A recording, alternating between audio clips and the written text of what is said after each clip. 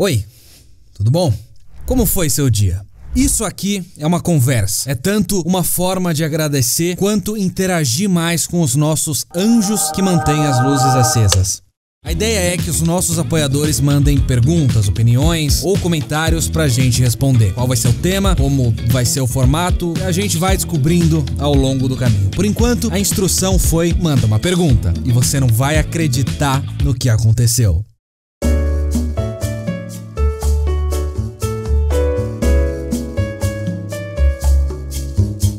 VS Dom 99 perguntou: Com o crescimento do Pompano, o que vocês pretendem fazer em relação ao conteúdo que vocês criam? No sentido de mais vídeos, chamar outras pessoas pro Pompano ou até expandir para outras mídias, tipo um Pompano Cast? Por favor, eu nunca pedi nada. Ok, primeiro, o seu desejo é uma ordem, toma um podcast.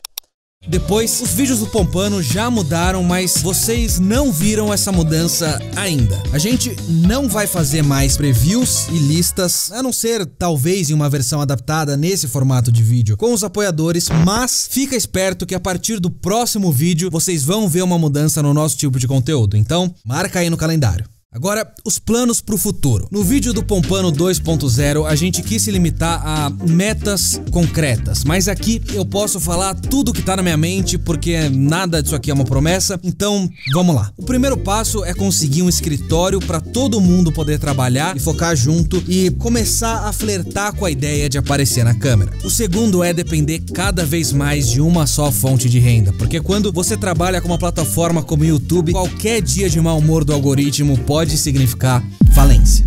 E para isso, o plano é contratar mais talentos e abrir outros canais com propostas diferentes. É, eu ainda quero achar um equilíbrio onde eu possa me dedicar ao Pompano, tanto no conteúdo como na parte de negócios, e conseguir tempo para fazer os vídeos que eu ainda quero fazer no Gamera. Mas antes disso, eu preciso tornar esse um negócio sustentável. Até porque o Gamera nunca vai fazer dinheiro, na verdade, vai sugar mais que qualquer outra coisa. Isso não significa que eu não tô fazendo o próximo vídeo do Gamera, eu tô, mas por enquanto eu faço quando dá e por isso a previsão é o famoso quando estiver pronto. E o último passo é dominar o mundo e transicionar os negócios para a indústria de água potável. E aí monopolizar a água do mundo e vender ela como uma tier do nosso Apoia-se. Mais 5 ml de bônus para quem é apoiador desde 2021. Então vai lá, aproveita enquanto você ainda pode.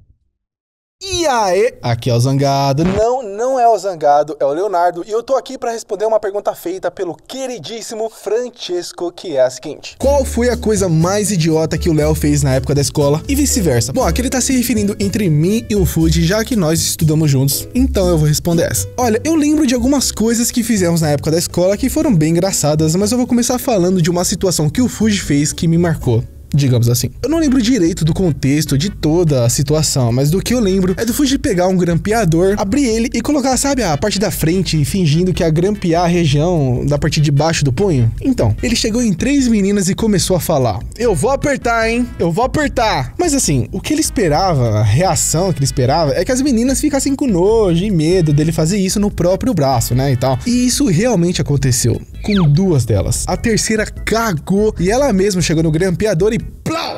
Meu, a cara do Fuji vindo grampeador fincado no braço dele, ai, foi impagável.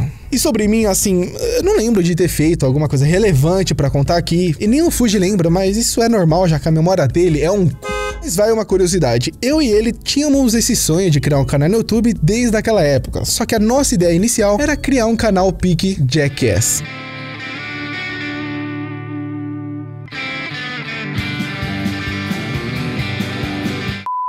Sim, a gente era maluco, fazíamos vários desenhos de ideias para os vídeos do canal, uma ideia mais retardada do que a outra. Não sei o que a gente tinha na cabeça, graças a Deus isso não foi para frente. Olá, aqui é o Tucas e eu tô respondendo a pergunta do nosso apoiador, Victor Francesco, e que tem um complemento do também apoiador Jean Franz. Eles perguntaram qual foi o meu processo de adaptação ao entrar no canal e a experiência da minha visão ao entrar no Pompano. Vamos lá.